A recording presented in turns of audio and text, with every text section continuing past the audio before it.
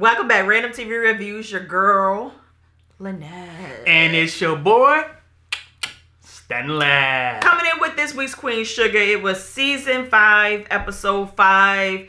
Don't care what the name of the episode was because my TV didn't give it to me. Nope. Google didn't give it to me. Nope. So that just means we're not supposed to have it. Huh.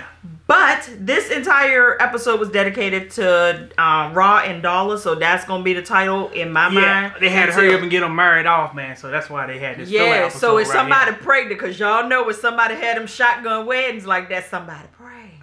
Hmm. That's what they say back in the old days, back in the old church. Yup. So let's go ahead and run it. Trying to hide your fornication.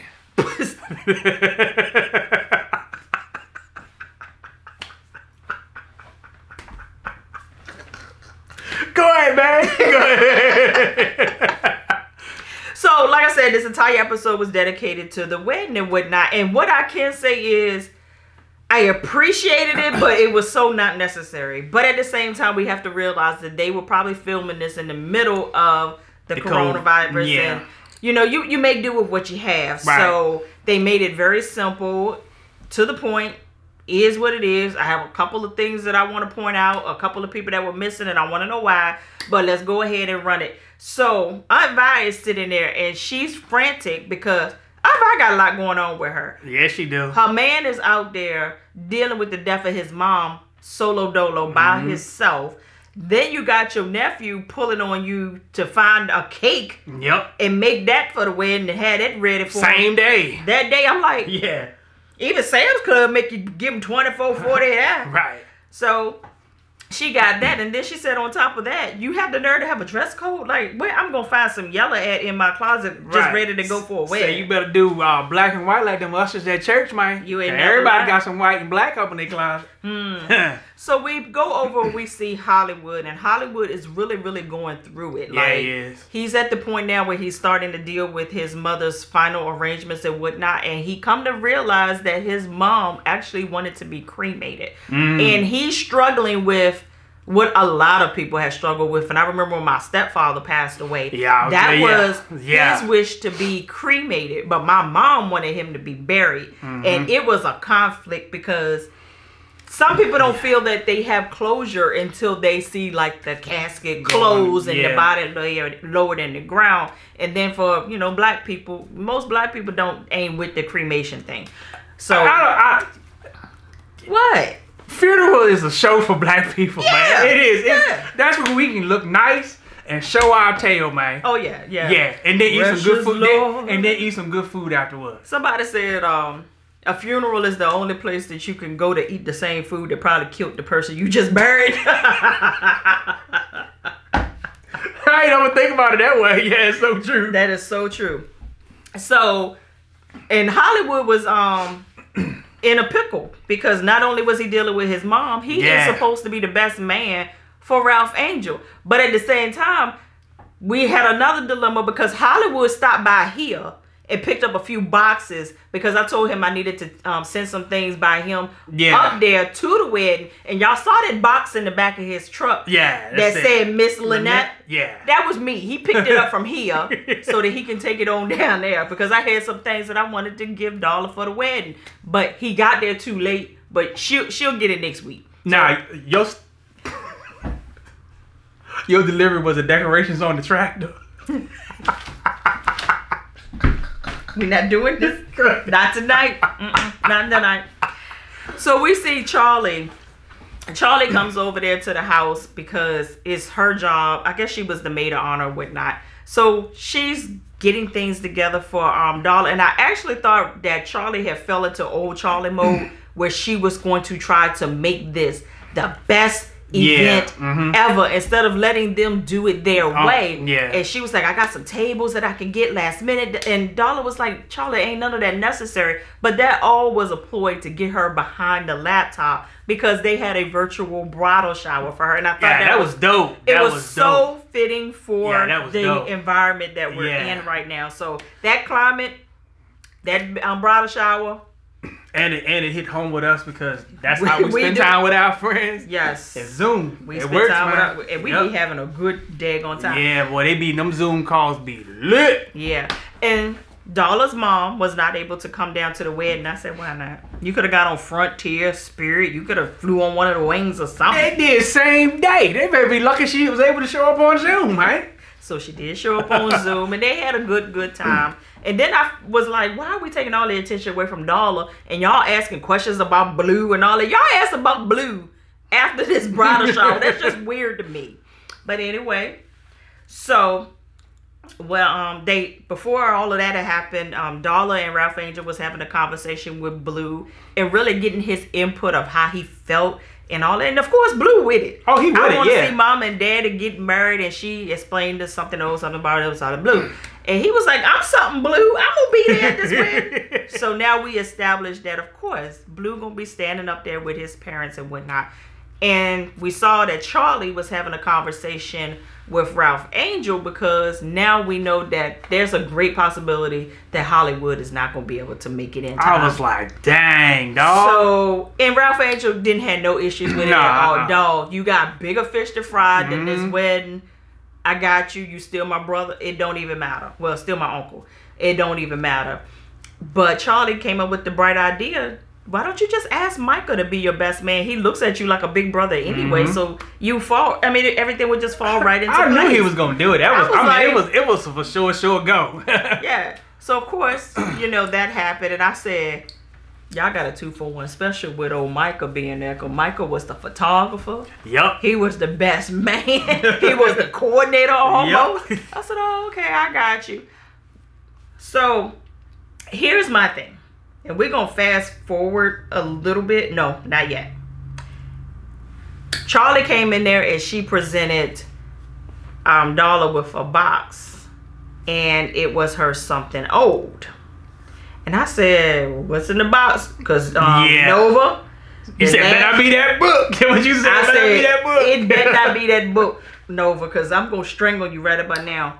But we saw Nova earlier in the episode. She was going through like old family photos and things like that. So I knew that something was about to come with this. Mm. At first, I thought they was just gonna do like a collage of pictures or somewhere outside. yeah. But come to find out that she had found the letter that Trudy had written, and she really was describing her love for her son, her only son, and Mhm. how she had prayed over him that he would one day find the same kind of love that she has for his father.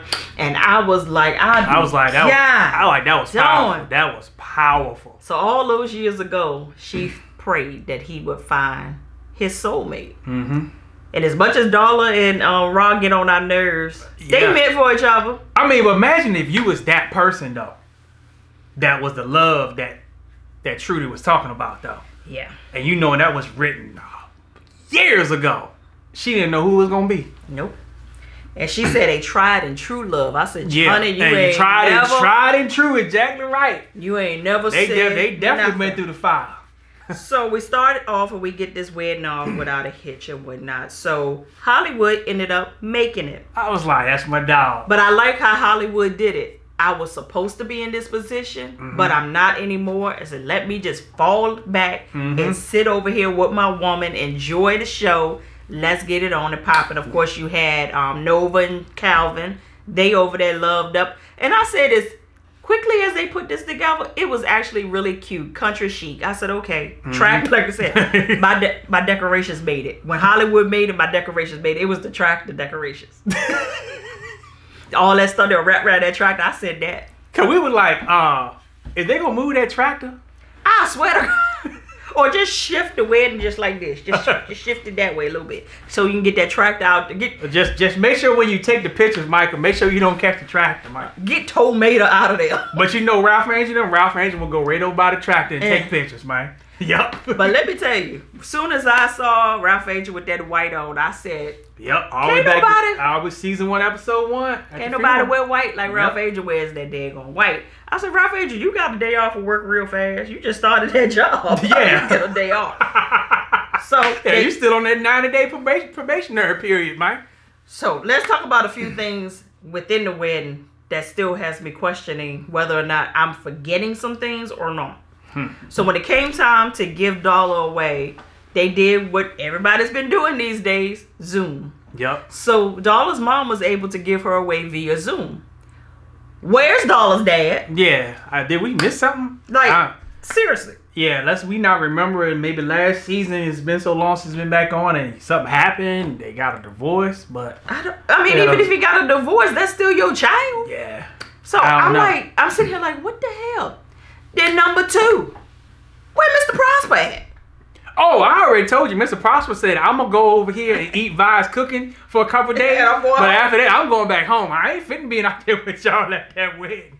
Cause he already know how black folk act at weddings too. Oh yeah, super spread event. Uh huh. Yep. so everybody, most people had their masks on, so it, it And they was was social distancing. They, to hell, it was only three of them. Yeah. So But why they had the sofa and all that stuff out there? they had nothing else, man. Well, you know, black people always got the metal chairs, so they yeah, could the have metal metal, folding chairs, man. they could have brought them out. But we talking about Ron Darla. Don't even worry about it. Like Mike people say, don't even matter. So um, Cause the couch like came from Charlie House. stop.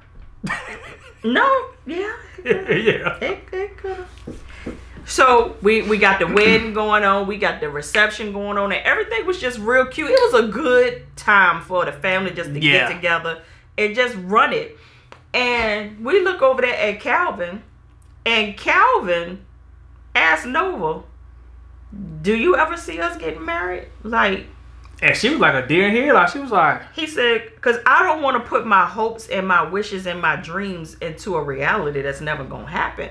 So, do you ever see us getting married?" And I'm like, "Well, Nova, do you know? hmm. Cause I know Nova's not with that, Yeah. but She with- verbalized that too, yeah, yeah. But with Calvin, things things changed. Yeah. Hmm.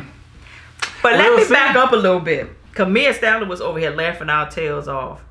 When Charlie and Ralph Angel was having that brother and sister moment about who could race and who could run Oh. the fastest. And she was picking on him about his little drumstick legs. And they decided to take it out to the field. I don't know what kind of running Yeah, Ralph I- Angel was yeah. doing. But all he Yeah. was doing was was Oh, moving. He was- But he won't going nowhere. He was running this way, that way. I said, "Are you drunk running? Like, what's happening here, Ralph Angel?" He barely beat Charlie. barely, and she, Barely. She let him win, cause that's what sisters do. We let the brothers win. But anyway. He did. So, what else had happened? Um, so Hollywood ended up giving the best man speech as he should have, and he Mhm. was explaining how love is precious and being with the one that you love. Mhm. And after he gave that speech, he sat down by Vi and he told Vi, he said, "You all I got now." All I got, I was like, wow. And yeah. she was like, "And I'm all, all you need. I got you." And I was like, Yeah. "Ain't that a beautiful thing?" Yep. when somebody just got you. Yep. That's that. That's that power of that black love, man. I'm trying to tell you, it's Yeah. contagious. Yeah, man. Yeah, but at the same time, not everybody meant to get married though. We're not gonna do that. But we're not going down that path though. yeah, But marriage is a beautiful thing if Mm-hmm. it is for you. it will be. Yeah.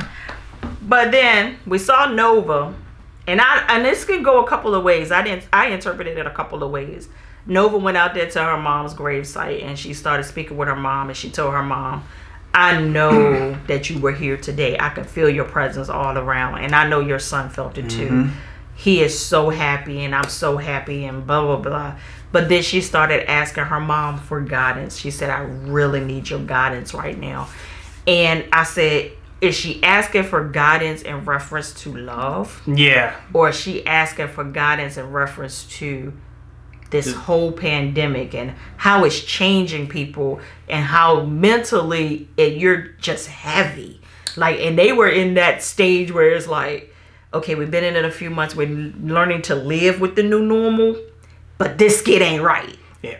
I actually thought she was talking about what Calvin was talking about marriage. Like, Could I need guidance for, you know. Yeah, because marriage is a big commitment, man. Uh, big commitment. But it's wonderful, though, man. We got Wouldn't blessed. change it to the, wouldn't change it for the world, man. Uh, we got blessed. yeah, yeah, we did. People that don't got married all around us. I tell anybody, man, marry your best friend. Bingo. Bam. Straight from the VA. The dirty, dirty South. Two up, two down. Holla! Boom!